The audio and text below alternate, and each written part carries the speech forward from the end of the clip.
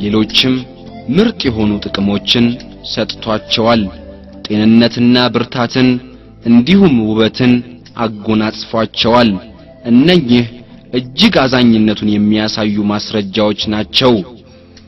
አላህ እነኚህን ሁሉ ጸጋዎች ለከሃዲያን እንዲጠቀሙበት የፈቀደው አንድ ቀን ወደ አቅላቸው ተመልሰው ምስጋና ያደርሱና ወደ ትክክለኛው ሃይማኖት ያዘነብሉ ዘንድ ነው።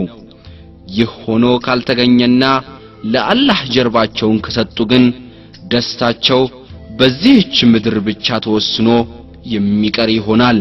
በመጪው ዓለም ሁሉም ጸጋዎች ላመኑትና የተሰጣቸውን ችሮታዎች ወደ እርሱ ለመቃረብና ደስታውን ለመሻት ለተጠቀሙበት እንዲሁም ምስጋና ላደረሱት ብቻ ይሆናል። ይህ የአላህ ታላቅ እዝነት መገለጫ ነው።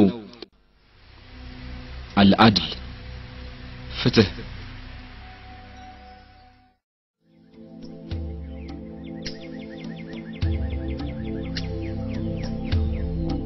يا أيها الذين آمنوا كونوا قوامين لله شهداء بالقسط.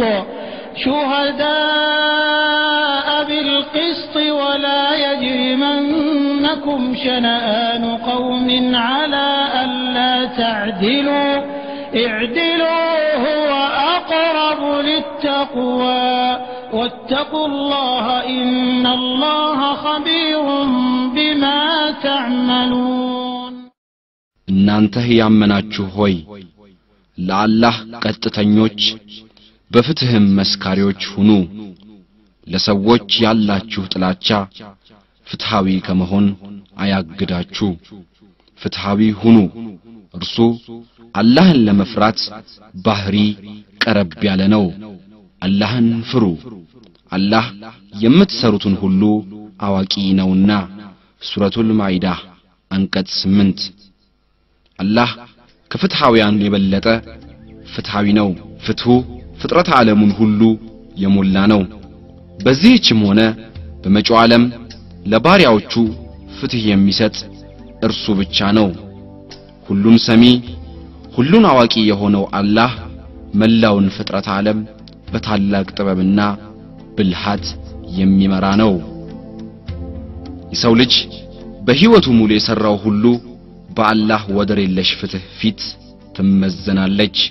አላህ በቅዱስ ቁርአኑ ጥፋተኞች ለጥፋታቸው ዋጋቸውን ሳያገኙ እንደማይታለፉ ሲነግረን የዚያኑ ያህል ደግሞ አንዲት ጥሩ ቃል እንኳን ሳታሸልም አትታለፍም ይለናል። ሰናይና እኩይ በአላህ ፊት እኩል አይደሉም። በመካከላቸው ፍጹማዊ በሆነ ፍትህ ይዳኛቸዋል። የአላህ ጥልቅና ወደር የለሽ ፍትሃዊነት ሁልል ብሎና ጠርቶ የሚታይበት ቦታ ቢኖር መጪው ዓለም ነው። አላህ በፍጹም ምንም የማይረሳ ሲሆን በቃሉም የሚገኝ ጌታ ነው። እያንዳንዱ የሰው ልጅ በዚህች ምድር ለሰራው ሥራ በመጪው ዓለም ምላሹን ያገኛል። እኩይ የሰሩት አሳማሚ ቅጣት ሲያገኛቸው እነዚያ ያመኑትና መልካም ሥራን የሰሩት ታላቅ የሆነን ምንዳ ከእርሱ ይመነዳሉ። አልአፉ ይቅር ባይ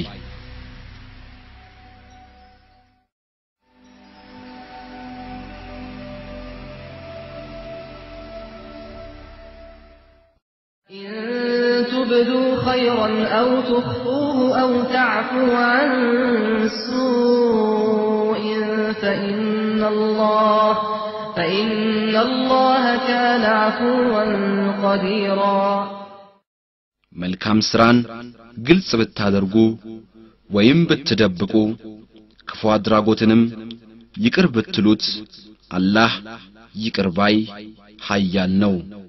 ሱረቱ ኒሳ አንቀጽ 149 ሰዎች በተፈጥሮአቸው ስህተት ሰሪዎች ናቸው።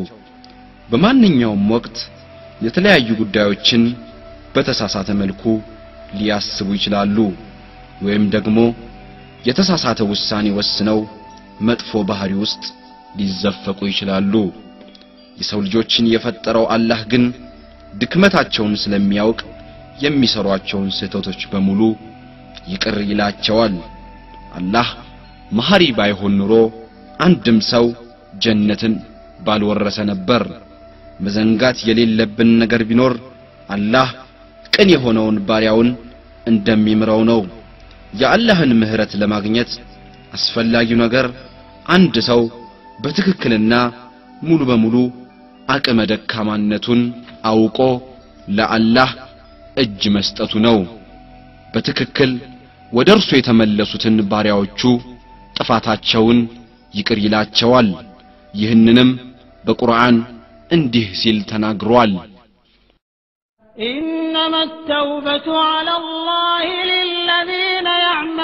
السوء بجهالة ثم يتوبون من قريب فأولئك يتوب الله عليهم وكان الله عليما حكيما አላህ የሚቀበለው የእነዚያን ኀጢአትን ባለማወቅ የሚሰሩትንና ወዲያውንም ንስሐ የሚገቡትን ሰዎች ንስሐ ነው። አላህ የእንዲህ አይነት ሰዎችን ንስሐ ይቀበላል። አላህ አዋቂ ጥበበኛ ነው። ሱረቱ ኒሳ አንቀጽ 17 አልዓሊም አዋቂ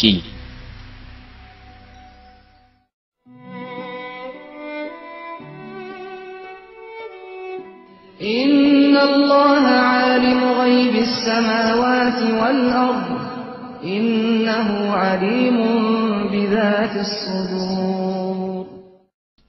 አላህ የሰማያትንም ሆነ የምድርን ምስጢራት አዋቂ ነው። ከልቦች ውስጥ ያሉ ምስጢሮችንም ሁሉ ያውቃል።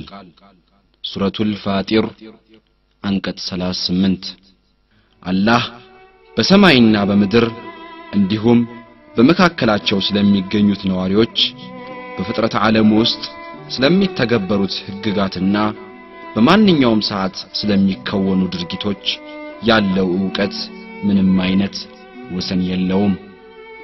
አላህ በእያንዳንዱ ቅጽበት የሚወለደውንና የሚሞተውን ፍጡር ማንነት ሁሉ የሚያውቅ ጌታ ነው።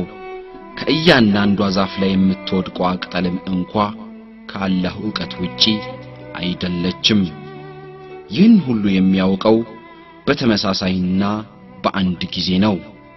በፍጥረት ዓለም ውስጥ ያሉትን በቢሊዮን የሚቆጠሩ ጋላክሲዎችና በውስጦቻቸው የያዟቸውን በቢሊዮን የሚቆጠሩ ከዋክብት እንዲሁም ሌሎች አሁን መዘርዘር የማንችላቸውን ነገሮች በዝርዝር የሚያውቅ ነው።